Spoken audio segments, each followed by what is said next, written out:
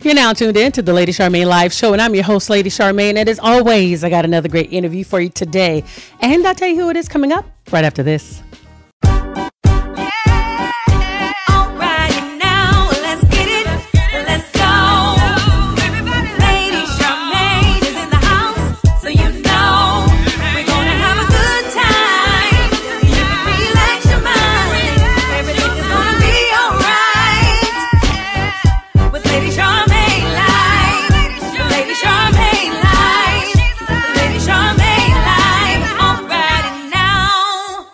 Guest today is an actress, comedian, author, broadcaster, podcaster, and television host. And she is here today to talk about her second season of her daily syndicated talk show, Sherri. Help me welcome to the Lady Charmaine Live Show, Miss Sherri Shepard. Welcome to the show. Hi, good morning. How are you? I am doing wonderful. Glad to have you on the show today. Thank you so much for joining me. Oh, thank you so much for having me on. Appreciate it. Good. Well, we're going to be talking about the second season of your brand new show. It's full of life, full of energy, and you also kicked the show off with a bang bang, letting everybody know that you had a couple of new girlfriends. You lost a few and uh, gained two new ones. So we're going to be talking about that. Why did you choose to open up your show to let everybody know what you did this past summer and the physical changes that you made to your body? Well, I, I think everybody knows me. Mm-hmm. Like anybody who's followed me my breasts have been my calling card. I learned how to deal with hecklers because they would heckle me about my the size of my breasts. And mm. so they and I get comments all the time of people, why don't you get a breast reduction? They're too big. Or, you know, I love or for men, I love your breasts. It's been you know, that's just who I am. Mm-hmm.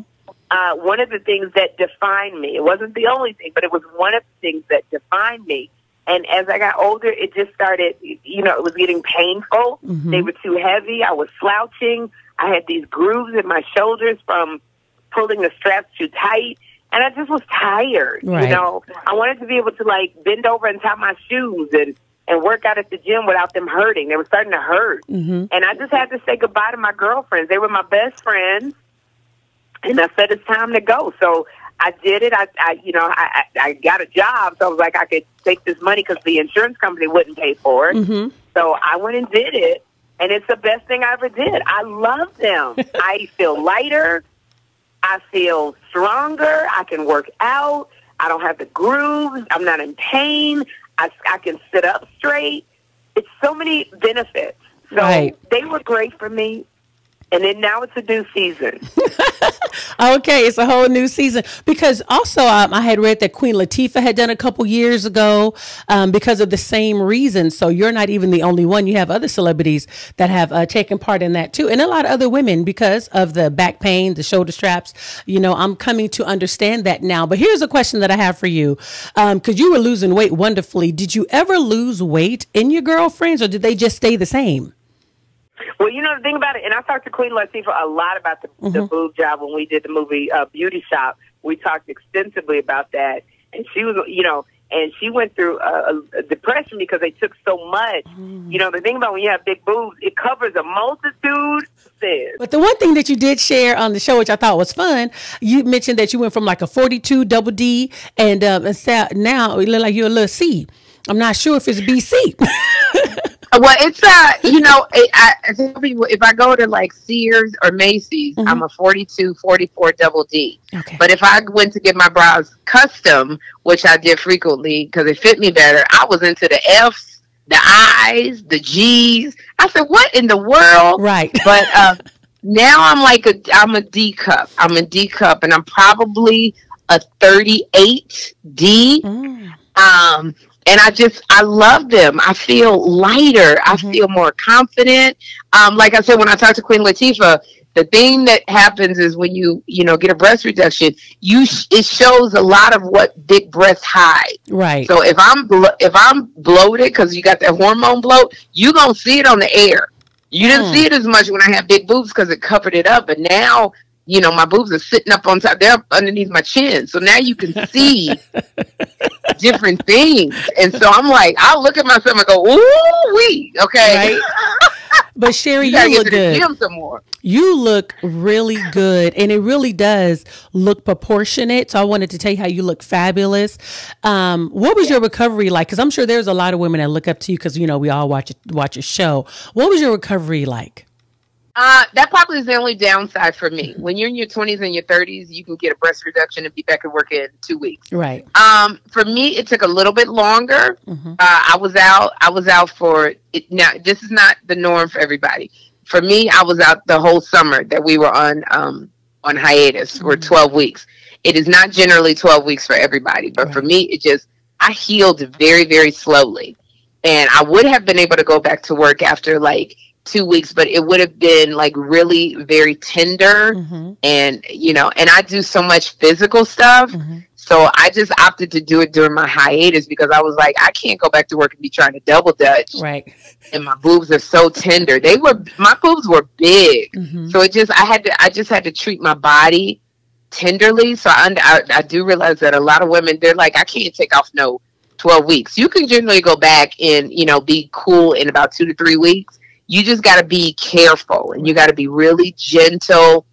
Um, even now, when people hug me, Lady mm-hmm. C, it still hurts my boobs because it's like mm-hmm. they brought all of the fat from the bottom up to the top. Mm. So now, when people people get so excited, they hug me, and I have to put my arm in front of my breast, right?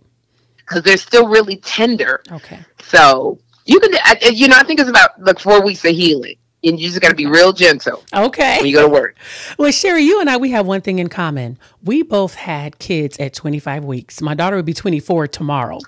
And oh. yeah, so yeah, she was a preemie. I know the NICU life. She was in there for uh, three months, and I said, "Oh, I didn't realize okay. her son was 25 weeks as well." And so yeah, it, so people do not understand that NICU life and a praying mama. If they understood. Oh my gosh. Mm-hmm. How is your daughter? She's she's doing good. She'll be 24 years tomorrow, and then I have a grandson. He's two years old, so uh, uh-huh. so she's doing good. So you know, I thank God for the power of prayer. But people don't know when you are in there, anything can happen. You don't know the developmental stages. We have to look out for all of that. So I totally understand when you had your baby, but I didn't realize he was 25 weeks. Um, yeah, yes. uh, Jeffrey was he was 25 weeks, and people don't know this. You know, the NICU journey, the uh, mm-hmm. neonatal intensive care unit, it's a roller coaster ride mm-hmm. because he was born at 25 weeks. Mm-hmm. He had three. He had three surgeries. He had uh, stents in his brain. He had mm-hmm. brain bleeding. Mm-hmm. Um, you know, it, it was really hard. I didn't laugh for almost a year. I didn't smile. I didn't laugh uh, because it was so much taking care of Jeffrey, not knowing if he was having seizures in right. his brain and being told that he would have you know severe mental mm-hmm. issues and cerebral palsy mm-hmm. and it was the prayers of my family and my friends i didn't even have enough strength to pray mm-hmm. i just moaned a lot i was on my knees crying and moaning trying to pump milk mm-hmm. uh, you know to not be able to produce milk for my son the very thing that he needed to live was such a blow to me as a woman. And um, it was just so much I was going, the guilt mm-hmm. of, you know, was it my fault? I, it just, people don't understand it. But these, these preemie babies, right. they are a strong breed. Right. That is what I will say. Absolutely. They are. you think you know. You have no idea. They told me, yeah, the doctors told me that my son would never be able to talk. Mm. And I said, but that's not the God I serve. Right. And when my let me tell you, when my son walks up to me, he's like, Mom, will you put that wig back on? I know, honey, he was meant to be. You know, and, and I just feel like, you know, preemie babies have a purpose. Yes. They, because they fight so hard mm-hmm. to be here. And that's what keeps me going is knowing that my son fought so hard and he's here. And so I fight for him. Well, sure. I got to ask you a question because we know we're going to be talking about the second season of the Sherri Show. You know, growing up, yeah. you know, everybody have dreams. Was having a talk show one of your dreams, or was it something as you walked your life out from being an actress to comedian that this was one of those surprise blessings, or was this a dream of yours?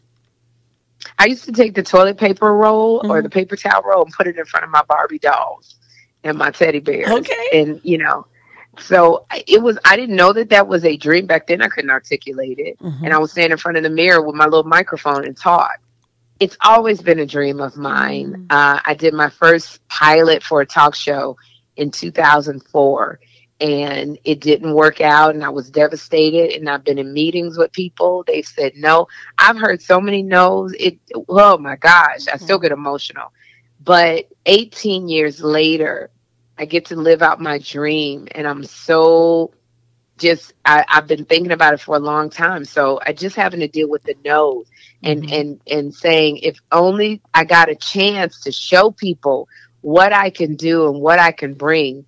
It's so exciting. That's why when people say you have such joy, mm-hmm. because every time I'm behind my door, I pray for the audience who's live, who's who's sitting in the studio with me, mm-hmm. and I pray for the audience who's watching me that they would see the joy of God mm-hmm. and the mm-hmm. love of God through me and that I would be able to deliver fresh jokes and give joy where there may not be any. Right. And um I get very emotional when the door opens up and I come out and I smile because I've been behind the door just thanking God for all of the blessings. Mm-hmm. I don't remember what you asked me. That's so. You know what? You better give God praise.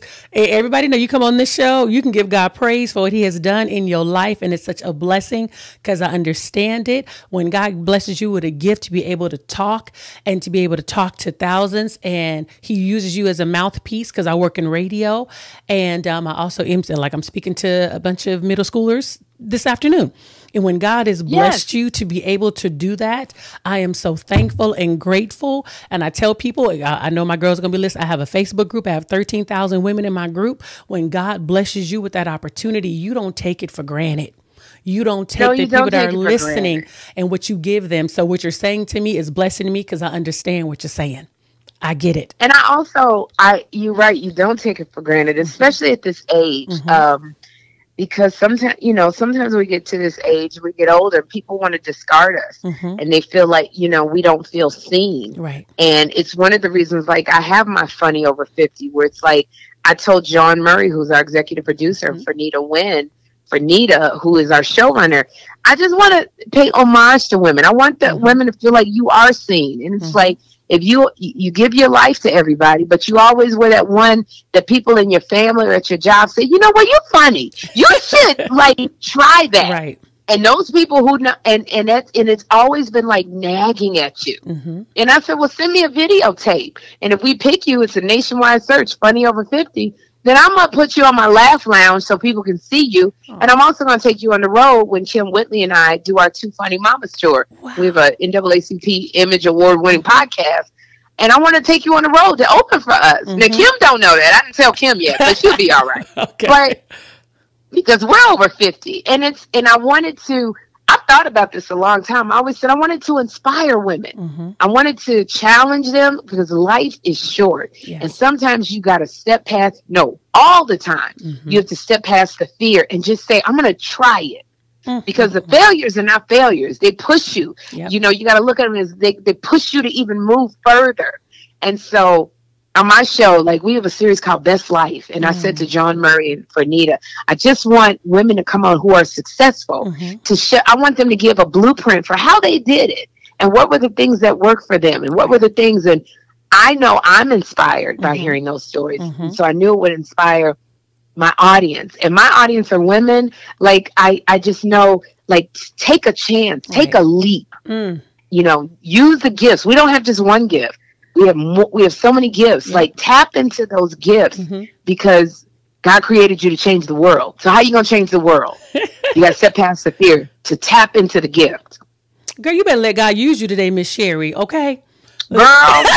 you better let him I'm excited. Like, and look, every morning I'm excited like this. I'm, I'm excited. I know, I, and I, I pray that my audience it. gets it. You know yeah. what? I get it. I feel it. I know the energy.